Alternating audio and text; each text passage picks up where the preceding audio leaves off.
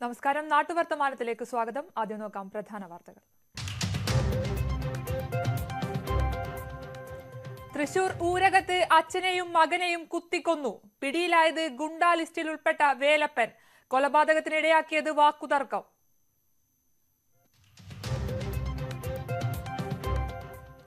കോഴിക്കോട് നരിക്കുനിയിൽ ബസ്സിൽ നിന്ന് തെറിച്ചു വീണ യാത്രക്കാരി മരിച്ചു. മരിച്ചത് കൊയിലാണ്ടി സ്വദേശി ഉഷ.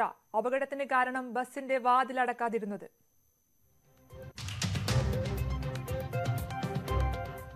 അട്ടപ്പാടിയിൽ യുവാവ് ഒഴുക്കിൽപ്പെട്ടു മരിച്ചു. മരിച്ചത് അകളി സ്വദേശി കുമരൻ. അപകടം പുഴ മുറിച്ചു കടക്കുന്നതിനിടെ.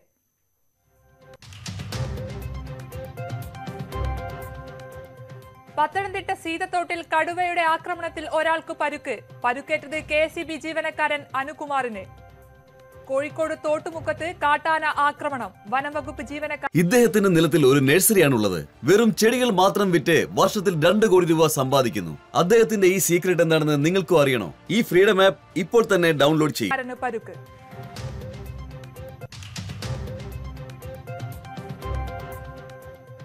പാലക്കാട് നാൽപ്പത്തിനാല് ലക്ഷത്തിന്റെ കുഴൽപ്പണം പിടികൂടി. പിടികൂടിയത് ഒലവക്കോട് റെയിൽവേ സ്റ്റേഷനിൽ നടത്തിയ പരിശോധനയിൽ മധുര സ്വദേശി രവി പിടിയിൽ.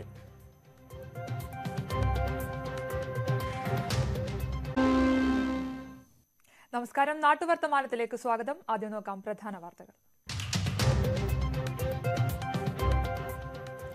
തൃശൂർ ഊരകത്ത് അച്ഛനെയും മകനെയും കുത്തിക്കൊന്നു. പിടിയിലായത് ഗുണ്ടാ ലിസ്റ്റിൽ ഉൾപ്പെട്ട വേലപ്പൻ. കൊലപാതകത്തിനിടയാക്കിയത് വാക്കുതർക്കം.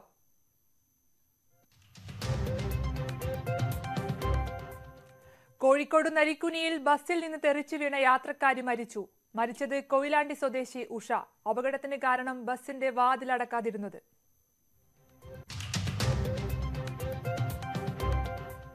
അട്ടപ്പാടിയിൽ യുവാവ് ഒഴുക്കിൽപ്പെട്ടു മരിച്ചു. മരിച്ചത് അകളി സ്വദേശി കുമരൻ. അപകടം പുഴ മുറിച്ചു കടക്കുന്നതിനിടെ.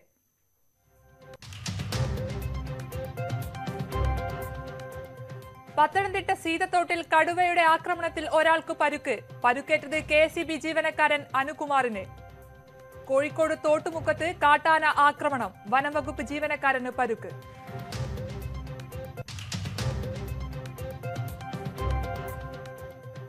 പാലക്കാട് നാൽപ്പത്തിനാല് ലക്ഷത്തിന്റെ കുഴൽപ്പണം പിടികൂടി. പിടികൂടിയത് ഒലവക്കോട് റെയിൽവേ സ്റ്റേഷനിൽ നടത്തിയ പരിശോധനയിൽ മധുര സ്വദേശി രവി പിടിയിൽ.